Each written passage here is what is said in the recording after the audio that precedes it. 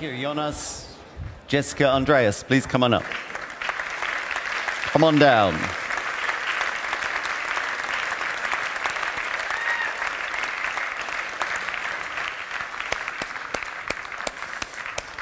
Please take a seat. Thank you. Uh, you come here. Yeah.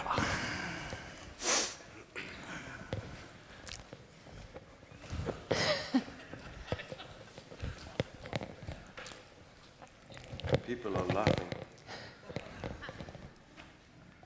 Is it at us? Yeah.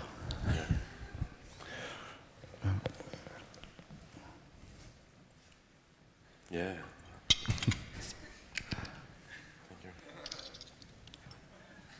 Sure, why not?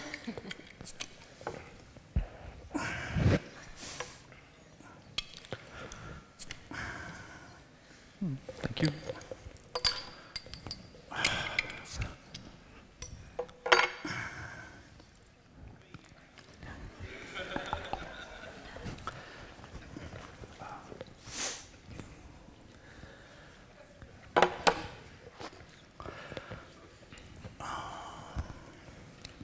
Uh, David, do you want to play that other film?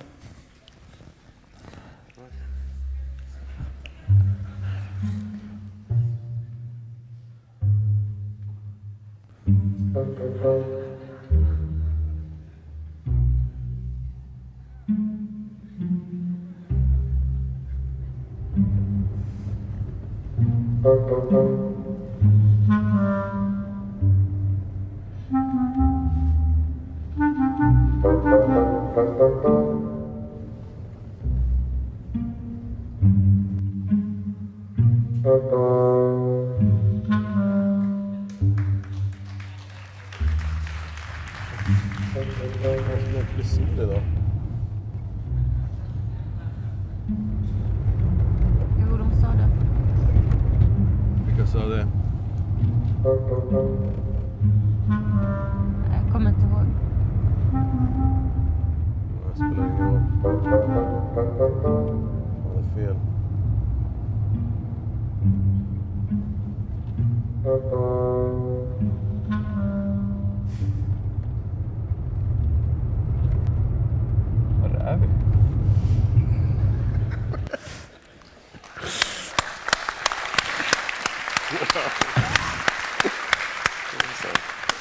Thank you all so much. I just wanted to try out silence for once. Ah, ja, ja. It's just like the other end of my usual scale, as you probably saw in the introduction.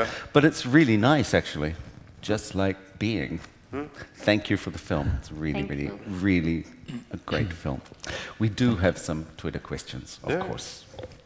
Um, Shall we go for an easy one? Oh, yeah, this is, this, this is one that I wanted to ask as well, so I'm going straight in with it. From Dino Olivier um, Is there any deeper meaning whatsoever behind the question mark on the haystack which they pass on the road?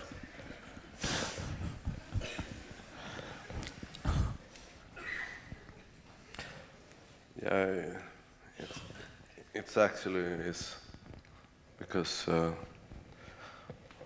the whole film actually is some kind of question, Question mark. Yeah. so it it was deliberate. Yeah. Was it an expensive like effect, or did you just put a question mark? Oh, yes. But we weren't oh, We allowed to do it. Huh. We weren't allowed to do it, so we had to take it away again. Yeah. Because it- Jonas it- always wanted to, wanted to do things that's not allowed. He's like, okay, now we're gonna do this instead. And then Andreas always came in and was like, Oh dear. no, Jonas, don't do that. and he did it anyway. So. Mm. Andreas, what was the what was the worst not allowed thing that you kind of ended up needing to produce from the film? Uh, the dream sequence was the worst, I think. That just came out of nowhere. It wasn't. Well, we had some trouble there because uh, it weren't supposed to rain. Ah. We, we were shooting the, the scene for two days, and on the second day was, uh, well, rain, as you saw. And uh, but then you made something up, which was which was really good instead. So, Mm. yeah. You had a fantastic cast, obviously. How did you find this actress and your and her two brothers? What was, what It, it, it wasn't too easy because uh, th- there's not a, a lot of uh, Roman actress uh, professional in Sweden. So we had a, a, a uh, we, da- we didn't have a lot to choose from, and uh, there also. No, there were also a, a lot of uh, preservation because uh, when we're going to do the film, the the Romanian people in Sweden was a little bit anxious because how, how are you going to portray us Portray this way? Because uh, there are a lot of uh, cliches how to Sure. portray them, and it, it was a sort of a stigmata that are, are you going to take us serious, or are you going to, to, to portray us the way we used to be? So it was uh, a lot of confidence that we had to put.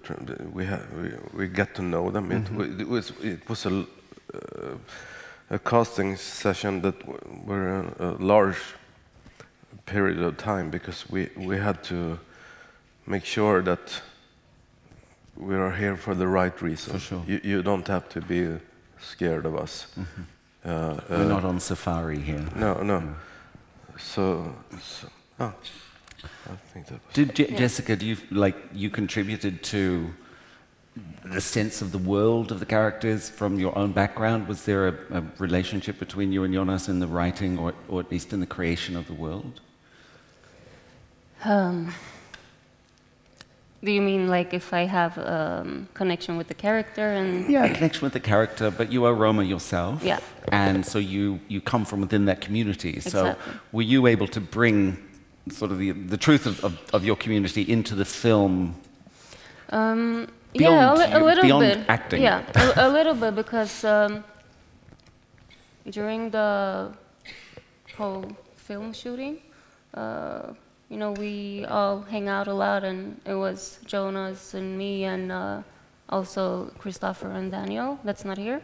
Um, and we were talking a lot about the gypsy culture um, and how we are at home with our families and what's the difference between um, all of the groups so that Jonas could get a, how do you say, um, a good view before he uh, start, started filming it. Yeah. It feels incredibly truthful. Yeah. And that sense of family, even though it's spread a thousand kilometers away, you never doubt it. It's just like it's, it's embedded in the characters. We have another question here. Um, it's from Ezeline. Uh, she says, I saw Jan Sandström compose the music. Uh, why did you choose classical music? And then she says in brackets, love the film and the music as well. Yeah. No, but uh, I, I always uh, I didn't want to, to make the obvious choice uh, to Romani uh, music. Uh, I wanted to it to be in, in, embedded in a in a old Swedish classic tradition. We see the the Swedish Romance classical music, and. Uh, I I heard a, radio program with Jan Sandström, uh, and I was like, uh, "That's the guy. That's the guy who's gonna write the music for this uh, for this picture." And it was love at first sight. Very very nice uh, collaboration, and we That's beautiful. uh, and we also we also we went went old-fashioned and, and uh, played it with a with a whole or- orchestra and, and like that. So Also, your, your composition of many of the shots, just simply the black and white for starters, but there's something somehow, I suppose, classical in terms of photography in them as mm-hmm. well. Like there are mm-hmm. moments in the film where you just wish you could stop it mm-hmm. and look at that composition. Really super beautiful um, in a film that, in other ways, might appear to be kind of gritty and realist, and it, it has a, all these other layers going on. So the classical music, the beautiful composition. Um, is that one of the things that, that you, you know, that sort of gave you joy in making the film? Is is clashing different things or, or layering them? yeah, yeah, I, I, yeah, much so. Uh, uh, Yeah, uh, it is a film that that. Uh, we, we, we keep you aware that it comes from tradition.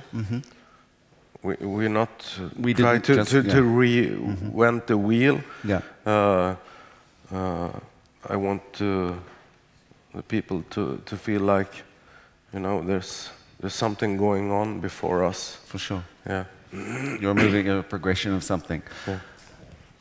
Andreas, um, producing a film like this, which doesn't necessarily, let's say at script stage, have the hallmarks of things that people necessarily feel comfortable with when they're financing a film. How was it to find partners to finance this film and convince them that, yeah, that is all the dialogue the film needs, and that is all the narrative. We're not leaning too heavily on something you might call plot. You know, what was that process like for you as a producer? It wasn't. It wasn't easy. but we had the, the, the Swedish Film Institute on board early, and also the um, Filmpool Nord up in the northern part of Sweden. And uh, well, Jonas is quite good to speak for himself in, in Swedish. maybe, maybe not. You have your arguments for Vad ska jag all säga? kind of things. You don't say nothing. You don't mean in say- Swedish he speaks? Yeah, he does. but not in English. not in English. but wasn't the question for you? Uh, uh, Yeah, but That was totally a question for you. Yeah.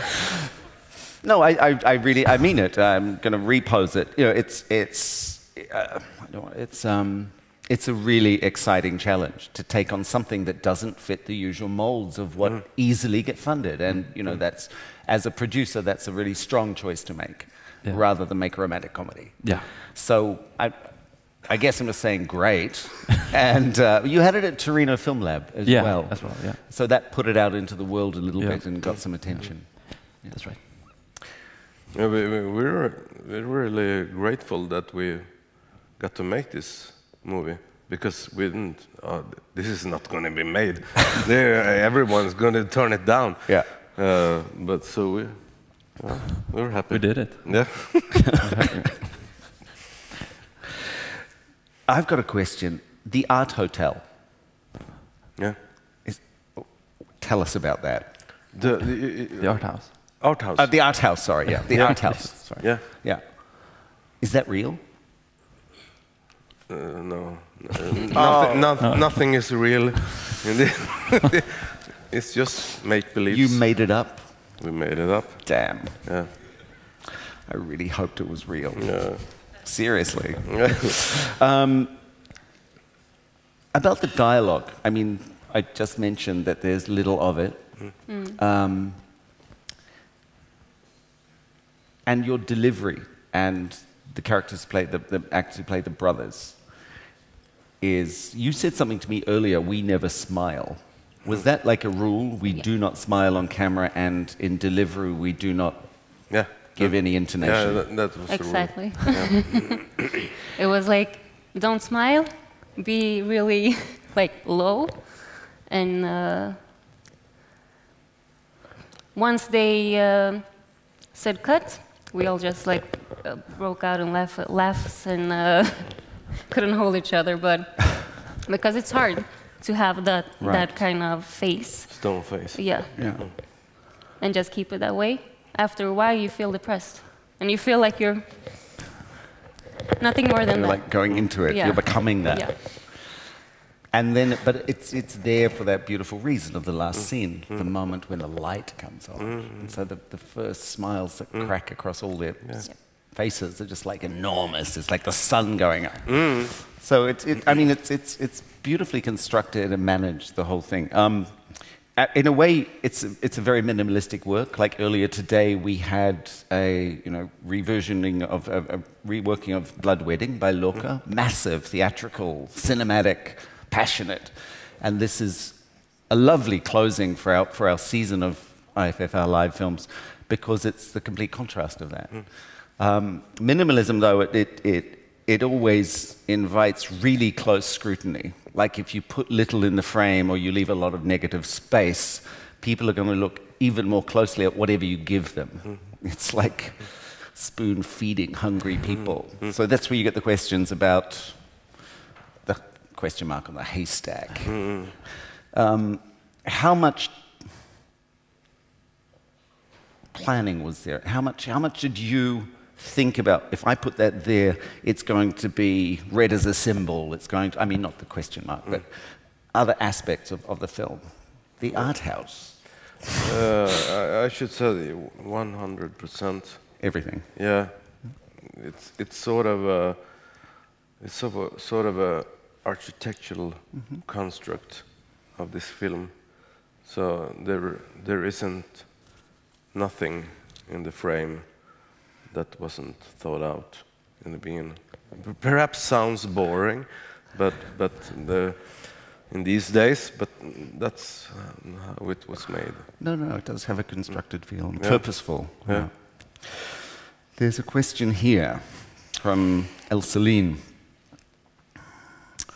Was the object that they had to deliver a clock from the start, or were there other choices along the way? So it's a little bit connected to what I just asked you. Was it always a clock? No, no, it wasn't. Uh, in the first, it was a road movie that was going to be at my birthplace in Sweden, uh, Okay. uh, who is in, in the north, Okay. and to the south of Sweden, uh, who is in Stockholm, where I live now. And it's a journey about uh, 1,000 kilometers. And I have made this journey uh, a lot of times. So that was the first. So I, I, I want to have the road movie that made this trip. And I wanted to have three people in the car because it, it, it's a sort of a chemistry there. But I didn't have why. Why are they going to make this trip? How long did it take you to find the why? Uh, several years.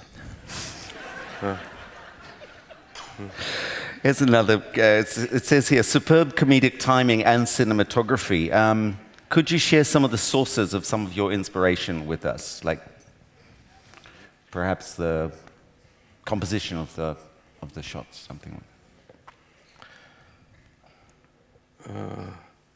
we, we, we we had we, the, the, the we have the most inspiration is actually from still photography. We had Any uh, particular yeah, yeah, or- uh, Le- Le- Lewis Baltz. Uh, he's an American photographer. Uh, uh, uh, so and uh, also you know mural paintings uh, in all sort of kinds. Uh, used to American photographer makes sense. It has sometimes an aspect like a feeling of the West. yeah yeah American yeah, West, yeah. of course. And then, and then of course you can't, I can't hide it. The uh, Jim Jarmusch, Stranger Than Paradise. It's it's almost uh, An homage, an homage, to, an homage. to that film. But we want to do it in, in a more And, yeah, it because, stands alone, because it, uniquely. it's a film. Uh, there is a very low def, Mm-hmm. and we we want to put it in high def. Yeah. That's a big success, by the way. The Jarmusch thing. It's great. Yeah. Um, here's one. You must be really big fans of Holland with that huge cheese slicer. you can say no. No, I, I don't understand the question. The cheese slicer, yeah. the big one. Yeah. That's sort of like a Dutch icon. Oh my God. It is. I know you have them in Sweden didn't- as I well. Oh, yeah, yeah, yeah, Yeah. No, yeah, the Dutch see are now go, uh, interpreting the symbol Yeah. of your deep affection for the Netherlands Ah. and the reason you're here tonight. No, no, every home has at least one of these, if not two or three. That's nice. Very important. Yeah. I didn't know. Um, here's one. Is the Saab your dream car? We're hitting all the big questions now. Absolutely. I, I have grown up in a Saab family. My father was a Saab mechanician. Uh, so I, my, my, parents, I, I was delivered in a Saab. You're a, Sa- you're a Saab baby. Yeah, yeah, yeah. Yeah, so, so I, uh, Saab is very close to my heart. We have to wind up, but um, Jessica, really a marvelous performance. Thank you. Looking forward to the things we see you in next. Um, Andreas, I'm sure the next one will be as challenging and great job. Jonas, thank you so much. I mean, this has been, as I say, our last film of IFFR Live. It's been a roller coaster journey of different styles, different filmmakers, different audiences, and of course, all the cinemas across Europe and all the different countries. And this has been like a really nice, calm way to go out for me and for us. So, thank you to all our cinemas across Europe. Thank you to all of our partners. Thank you to the great tech team behind here. And I think I can safely say we are coming to the end of IFFR Live 2016. Thanks very much. Thank you. Well, it's been good. Thank